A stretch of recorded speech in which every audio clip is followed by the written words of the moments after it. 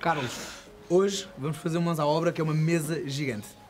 É uma mesa para a família toda que vai dar pelo menos até 16 pessoas. Ótimo. 16, 18, com jeitinho. Bom. Então o que é que eu fiz? Eu para isso fui ao Leroy Merlin e trouxe estes pés de ferro Sim. e trouxe dois tampos de mesa. Esse é igual ao que está aqui atrás, não é? Exatamente igual, são os Exatamente. dois tampos para usar. Qual é a especificidade disto? É que vou ter os dois tampos juntos para dar uma mesa larga e comprida. Oh, isso é muito simples. Claro, é só para fusar, tem dos buracos, tipo, Olha, ótimo. é tão simples, tão simples que é, vamos agarrar no tampo, Sim, vamos deitá-lo nesta, nesta, neste varandinho que já está prontinho, certo. metemos os pés, aparafusamos e está feito. Não há problema nenhum. Eu não contei ao Carlos a parte difícil. É que há um afastamento. Ah, ok. Eu quero afastar os dois tampos, que é para poder entrar com o guarda-sol lá no meio e os cabos para candeeiros, para jantares à noite, etc. Que era isso que eu não encontrava no mercado e daí ter comprado estes tampos, dois separados, com esta distância a meio. Pronto.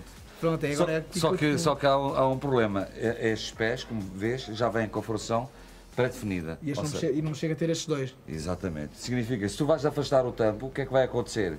Esta forção vai deixar de existir. Para isso resolvemos a situação muito simples. Uma parafusadora e uma broca de ferro, com calma, faz os furinhos e está feito. O Carlos chafa sempre tudo. Então, mãos à obra? Bora. Mãos à obra.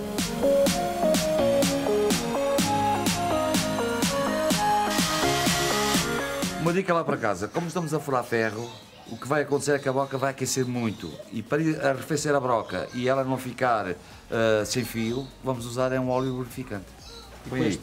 Sim, com este, põe aí.